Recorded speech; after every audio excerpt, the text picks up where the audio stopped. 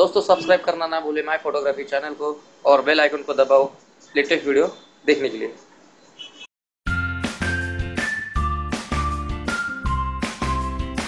नमस्कार दोस्तों, मैं हूँ आपका दोस्त मनोज और आप देख रहे हैं माय फोटोग्राफी चैनल दोस्तों, इसी महीने के अक्टूबर के 18 तारीख को एडोबी फोटोशॉप ने अठारह वर्जन के बाद उन्नीसवा वर्जन लॉन्च किया है और वो अभी एडोबी फोटोशॉप सी सी के नाम से जाना जाएगा। इस इसी एडोबी फोटोशॉप 2018 में कुछ बेहतरीन अपडेट्स उन्होंने हमें दिए हैं यूज़ करने के लिए। तो चलिए हम इसी फीचर के बारे में जान लेते हैं। तो चलिए शुरू करते हैं। तो दोस्तों, यहाँ पे आप देख सकते हैं एक वेलकम स्क्रीन हमारा ओपन हो गया है। इस वेलकम स्क्रीन में हमने अभी जो फ़ाइल रिसेंट में कुछ काम किया होगा तो उसका रिसेंट यहाँ पे आपको दिखाई देगा। यहाँ पे सी सी फाइल्स मतलब सी सी फ़ाइल मतलब आपके क्रिएटिव क्लाउड में जो भी फ़ाइल सेव रहेंगे, वो आप यहाँ से एक्सेस कर सकते हैं। और यहाँ पे तीसरा जो टैब नया आया है, वो लाइट रूम फ़ोटोज़ का टैब यहाँ पे एडोबी फोटोशॉप सी सी में दिया गया है। इससे क्या होगा कि जो आप लाइट रूम में फ़ोटोज़ अपलोड करते हैं क्रिएटिव क्लाउड में तो आप इसे फ़ोटोशॉप में एक्सेस कर सकते हैं आपके क्रिएटिव क्लाउड के अकाउंट से। तो ये एक नया फीचर इसमें ऐड हो गया है दोस्तों।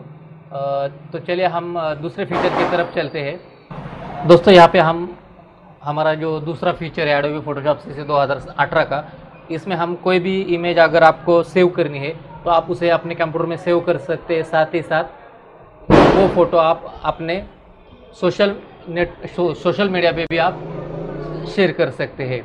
जैसे कि फेसबुक यहाँ पे लाइट रूम फ़ोटोज़ और अलग अलग यहाँ पे सोशल मीडिया के आइकॉन दिए हैं। तो उस, उसमें आप अपने फ़ोटोज़ शेयर कर सकते हैं डायरेक्टली फ़ोटोशॉप से। तो ये एक नया फीचर दिया है। अब हम चलते हैं तीसरे फीचर की तरफ़। तीसरा तीसरा फीचर इन्होंने दिया है रिच टूल टिप्स ये ऐसा टूल है जो फ़ोटोशॉप में नए है और जिन्हें फ़ोटोशॉप सीखना है। तो उन बिगिनर लोगों के लिए ये फ़ोटोशॉप का ये जो नया फीचर दिया है रिच टूल टिप्स ये बहुत ही अच्छा साबित हो सकता है। तो चले मैं दिखाता हूँ ये रूच रिच टूल टिप्स क्या है। अभी आप जो टूल बार देख रहे हैं, उसमें अगर आप अपने कर्सर को लेके जाएँगे और कुछ सेकंड के लिए रखेंगे तो यहाँ पे आपको हर एक टूल का एक ट्यूटोरियल वो दिखाने लगता है। तो यहाँ पे मूव टूल है तो मूव टूल कैसे यूज़ करते हैं, उसका वो ट्यूटोरियल दिखा रहा है। फिर हम थोड़ा सा रिक्टेंगुलर मार्केट टूल में आते हैं। तो यहाँ पे आप देखेंगे तो रिक्टेंगुलर मार्केट टूल कैसे काम करता है, ये इसमें आपको दिखने को मिलेगा। देखो, फिर हम नीचे आते हैं यहाँ पे लासो टूल लासो टूल कैसे यूज़ करते हैं, ये इसका ट्यूटोरियल यहाँ पे दिखाए तो जैसे जैसे आप यहाँ पे नीचे आएँगे टूल बार हर टूल बार के लिए उन्होंने एक टिप्स दी है, जो बिगिनर के लिए बहुत ही अच्छा साबित हो सकता है। ये नया एडोबी फोटोशॉप सी सी दो eraser tool gradient tool blur tool dodge tool pen tool कैसे यूज़ करते हैं?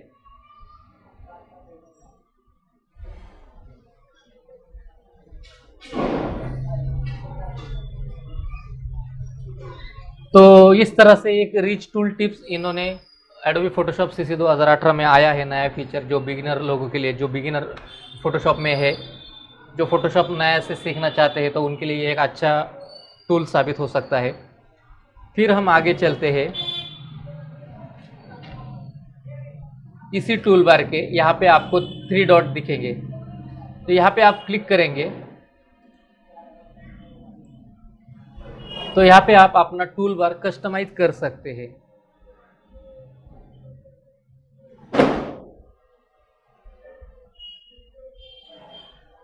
यहाँ पे बहुत सारे टूल जो हमारे टूल बार में आप टूल बार को कस्टमाइज कर सकते हैं, अपने हिसाब से कीबोर्ड शॉर्टकट यहाँ पे दे सकते हैं। अगर आपको डिफ़ॉल्ट ही रखना है तो यहाँ पे रेस्टोर डिफ़ॉल्ट कर दो और डन तो ये एक नया ऑप्शन दिया है इन्होंने।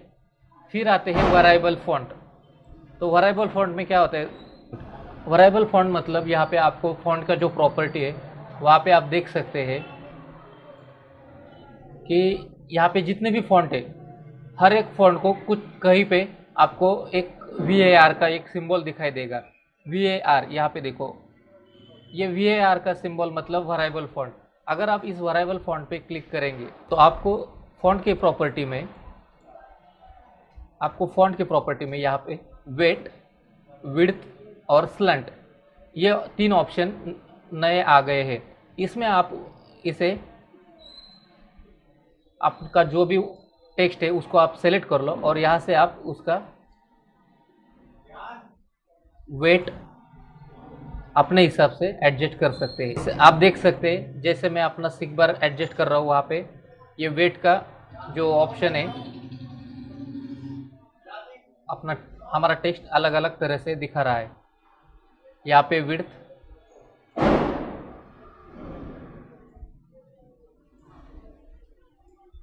विड्थ। यहाँ पे स्लैंट।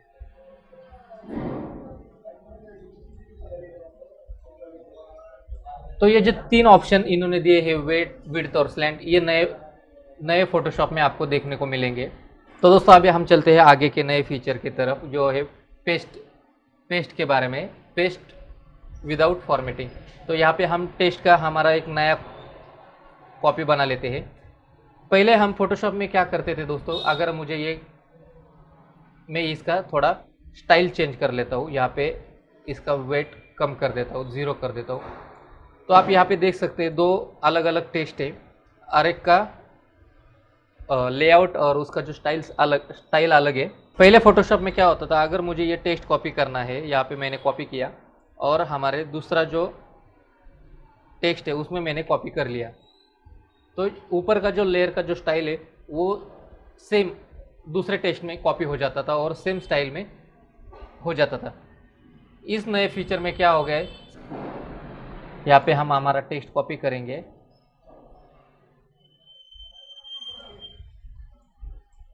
और हमारे ऊपर वाले टेक्स्ट में अगर हम सिंपली पेस्ट करेंगे तो नीचे का जो टेक्स्ट का स्टाइल स्टाइल था वो ऊपर वाले टेक्स्ट में सेम कॉपी हो गया।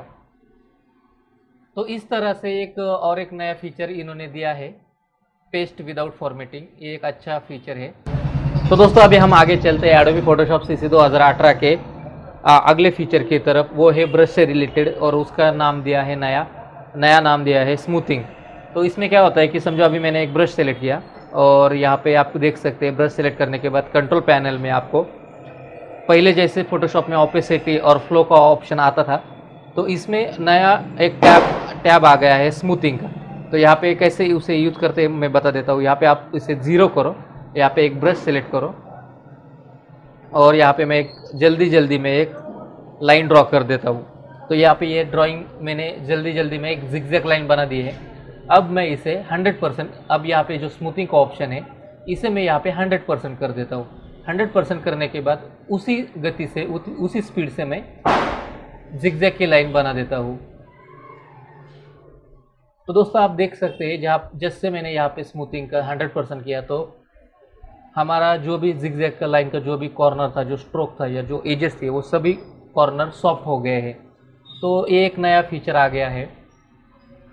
अभी आप अभी हम दूसरी तरफ़ देखते हैं। यहाँ पे आपको स्मूथिंग के टैब के सामने आपको एक गियर का आइकॉन दिखेगा। उस गियर के आइकॉन में आपको चार ऑप्शन दिखाई देंगे। Pull string mode stroke catch up catch up on stroke end तो catch up on stroke end हम देखते हैं। तो दोस्तों, आप देख सकते हैं, यहाँ पे मैंने एक लाइन ड्रॉ की है और माउस का बटन अभी तक मैंने छोड़ा नहीं है। जो दूसरा पॉइंट है और बीच में एक पिंक कलर की लाइन हमें दिख रही है। अगर मैं उस आ, उसी पॉइंट पे अगर मैं माउस का बटन छोड़ देता हूँ तो जहाँ पे मेरा माउस का एंड का पॉइंट था वहाँ पे उसने लाइन कंप्लीट कर ली।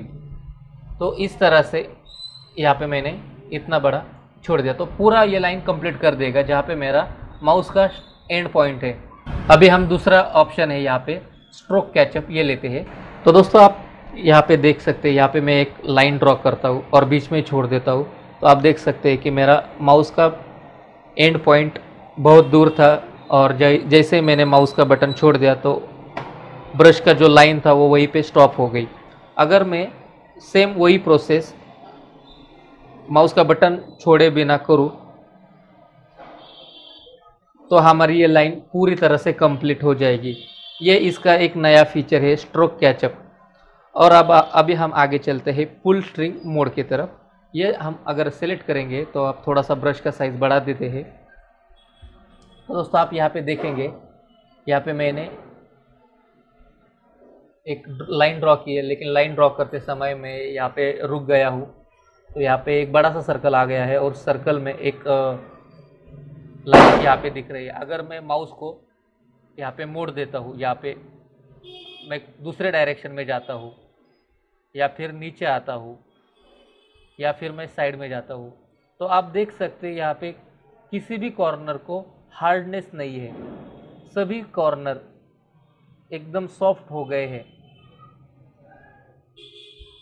तो ये एक नया फीचर इसमें अभी इन्होंने दिया है।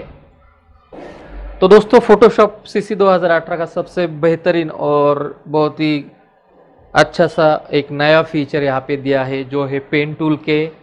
रिलेटेड यहाँ पे हम पेन टूल पे यहाँ पे क्लिक करेंगे तो आपको दिखाई देगा यहाँ पे कार्वेचर पेन टूल का एक नया ऑप्शन यहाँ पे इन्होंने दिया है। तो चलो हम इसे यूज़ कर से यूज़ कैसे करते हैं वो देखते हैं। यहाँ पे मेरे पास एक डायग्राम है।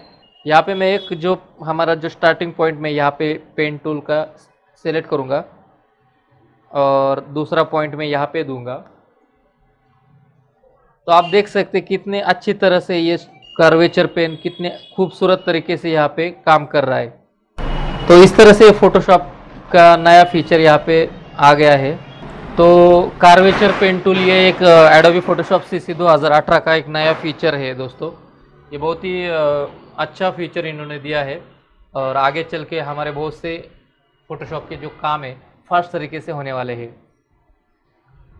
तो चलिए दोस्तों, अभी हम आगे चलते हैं हमारे अगले फीचर की तरफ़। वो है paint symmetry.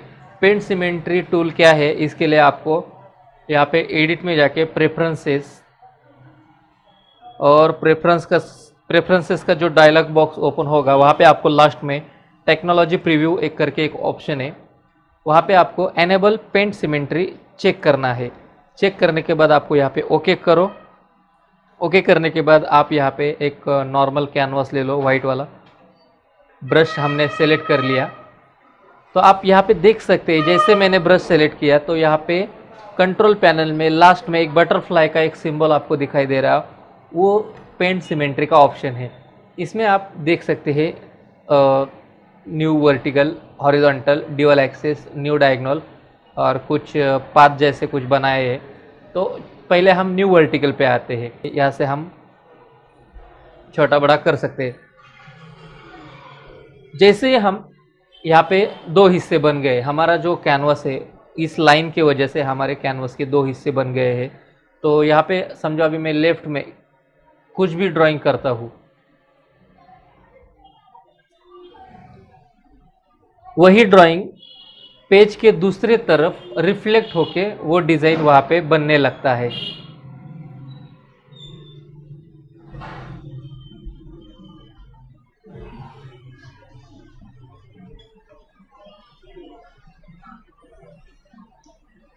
अब यहाँ पे हम लेते हैं दूसरा ऑप्शन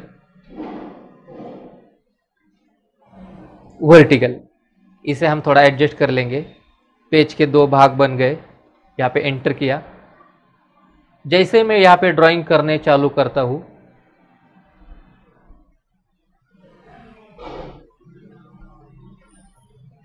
तो दूसरी तरफ़ उसका रिफ्लेक्शन तैयार होने लगता है, और ये है हॉरिजॉन्टल फिर यहाँ पे है न्यू ड्यूअल एक्सिस ये पेज को चार हिस्सों में बांट देगा और आप यहाँ से एंटर करेंगे और आप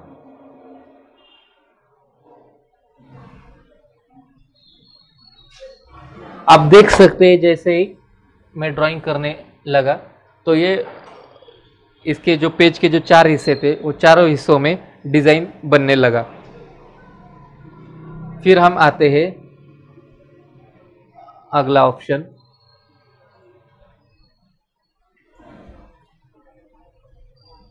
न्यू डायगनल।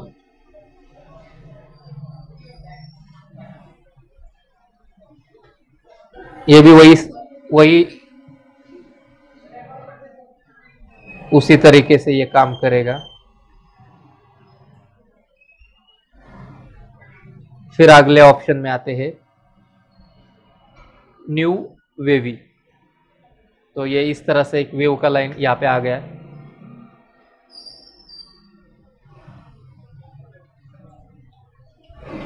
फिर हम आगे चलते हैं।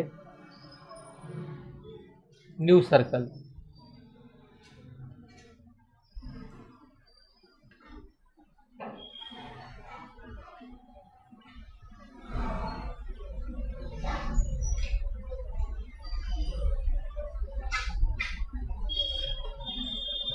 फिर आगे चलते हैं न्यू स्पाइरल।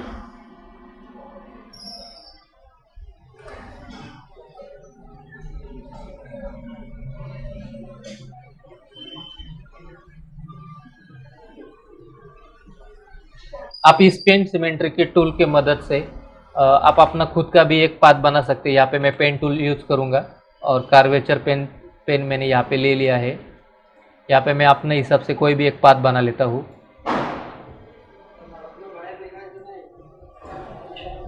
तो यहाँ पे मैंने एक एक कस्टमाइज एक पाथ बना लिया है। तो ये मेरा एक पाथ रेडी हो गया तो यहाँ पे मैं ब्रश टूल लूँगा और यहाँ पे सेलेक्टेड पाथ और यहाँ पे एंटर करूँगा और ये मेरा पाथ रेडी हो गया। अब यहाँ से मैं पेंट सीमेंट्री करूँगा।